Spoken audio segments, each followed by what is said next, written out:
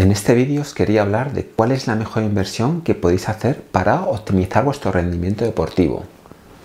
Hay un montón de cosas, por ejemplo, contratar a un nutricionista que ajuste tu alimentación a lo que es tu genética, a todo lo que te sienta mejor, así tienes alguna intolerancia o alguna incompatibilidad alimentaria, es una opción. Contratar un entrenador, como no, esta es la segunda opción, que te haga un plan de entrenamiento adecuado, que te evalúe tus características físicas y te haga un plan detallado para el objetivo que quieres. Perfecto, también es una muy buena opción. Tercero, contratar un psicólogo deportivo que mire cuáles son tus, tus problemas mentales, aquellas dificultades que tienes, te las gestione y sea capaz de sacar las mejores estrategias internas. Perfecto, también nos ayuda. Cuarto, contratar un especialista en relajación, alguien, un profesor de yoga o en meditación que haga que toda esa ansiedad que tienes, toda esa ese dificultad para gestionar las emociones, te las tranquilice. También eso está cerca de lo que voy a contar. O podemos usar, como no, la tecnología. Claro que sí. ¿Y qué tenemos dentro de la tecnología? Pues tenemos un montón de cosas entre los wearables, los gadgets y todo lo que nos da la tecnología. Os voy a enseñar algunos de ellos. Podemos usar pues un aparato como este, que es un aparato de electroestimulación, que nos ponemos unos electrodos la piel y a partir de un aparato le vamos mandando corriente eléctrica directamente a los músculos y eso hace que se activen más fibras motoras, que se activen mucho más los músculos y la contracción sea mucho más intensa, siempre ayudándonos de, de nuestra mente para hacerlo de la forma más voluntaria posible. Es una opción, así nuestros músculos van a entrenar mejor. ¿Qué más tenemos para entrenar usando la tecnología?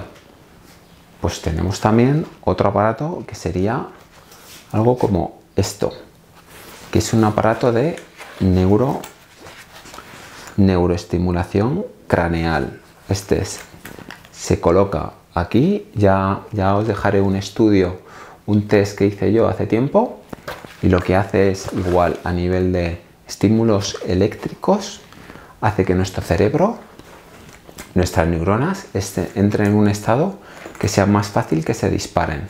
Aprovecha la neuroplasticidad cerebral y esto hace que aprendamos más rápido o, que interioricemos aquel entrenamiento que ha preparado el entrenador. Siempre y cuando hayamos alimentado adecuadamente, que nuestros músculos hayan estado bien y que estemos en un estado mental adecuado. O,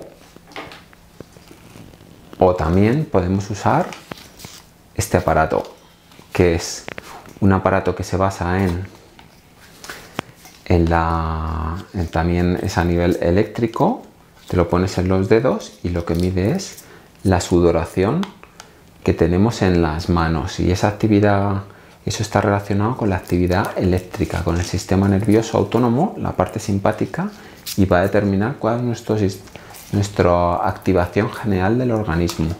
Este aparato, que sería biofeedback, porque nos está aportando una información interna nuestra, nos va a ayudar a... Esto genera un sonido o una lucecita y lo que nos ayuda es a regular nuestro nivel de activación, a relajarnos.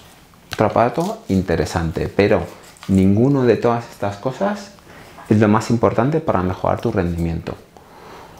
Tal y como dice uno de los expertos que más sigo, Brian McKenzie, a no ser que estés en el 5% de la élite mundial y quieras pasar a un 1%, la tecnología no es el mejor la solución para optimizar y hackear tu rendimiento. Lo mejor y donde tienes que invertir más es en hackear tu cerebro, en hackearte a ti mismo. ¿Y cómo lo puedes hacer? Pues con el autoconocimiento. Y se me ocurre un ejemplo muy típico. ¿Acaso los yogis que tienen un rendimiento excepcional en su cuerpo tienen entrenadores, nutricionistas, fisioterapeutas, psicólogos deportivos. No, lo han basado todo en ese autoconocimiento, en ese entrenamiento propio. Es decir, las claves cuáles serían ser constante con tus entrenamientos, tener compromiso, conocer tus propios límites, retarte de vez en cuando, mimarte, hacer un descanso y una recuperación adecuada, conocer cuál es tu cronotipo y también conocer cuáles son tus palabras clave, tus mantras, tu autohabla, tus rutinas que te hacen funcionar adecuadamente. Pero no es nada externo a nosotros, es algo interno. Ese autoconocimiento es lo que te va a llevar al máximo rendimiento. Cuando lo entrenas un día tras otro a lo largo de un montón de años, como lo hacen los yogis, llegarás a un control de tu cuerpo y a saber cuáles son tus límites y tener un rendimiento óptimo o como dice Mijael del nombre impronunciable, llegar a un estado de flow, de fluir, de flujo, donde todo te sale de manera automática, sin pensar.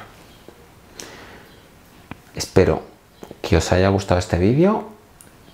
Si ha sido así, darle pulgadas arriba. Si, los que, si no os habéis suscrito a mi canal, pues suscribiros y nos vemos en los siguientes vídeos. Autoconocimiento, chicos y chicas.